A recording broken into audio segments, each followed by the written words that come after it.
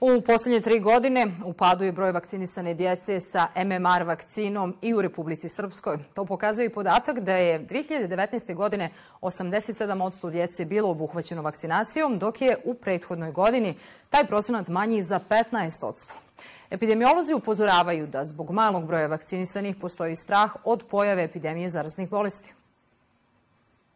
Nedovoljan broj vakcinisane djece MMR vakcinom za epidemiologe i strah od pojave epidemije malih boginja. U prethodnoj godini broj vakcinisane djece ovom vakcinom je 71% i procenat je manji u odnosu na raniji period. Recimo evo da je 10.000 novorođenčati u jednoj godini, 3.000 nije dobilo vakcinu do svoje druge godine, dakle potpuno su nezaštićeni.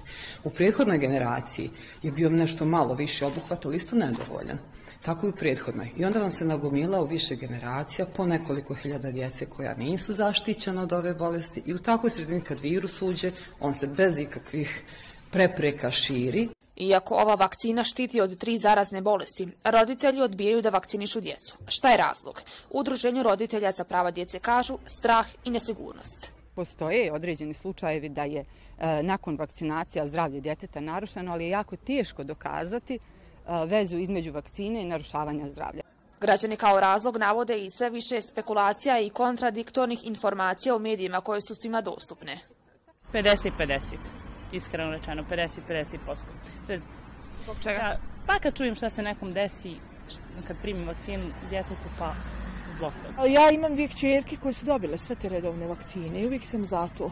Znači, nešto što je vanredno i što je nešto novo, ipak bi voljala da se ispita. Povezanost ove vakcine i autizma u medijima je već 20 godina. U Institutu za javno zdravstvo raspolažu podacima da su istraživanja koje su urađene na 100.000 djece u svijetu dokazala da MMR vakcina ni u kakvom slučaju ne može dovesti do autizma. Simptomi autizma vrlo često javljaju u tom nekom periodu, prepoznaju, oni se jave ranije, ali kod malih beba je to teško prepoznati tek se prepoznaje u onom periodu kad djete u stvari treba da progovara, da treba da ostvaruje kontakte malo ovaj, intenzivnije sa, sa, sa svojom okolinom i tad se to prepoznaje. A to je ta neka dob od godinu dana ili u drugoj godini. I onda se i vremenski ovaj, e, e, poklapa sa tim privanjem vakcine. Mali broj vakcinisane djece je u Srbiji. U prvih šest mjeseci samo 38 odsto.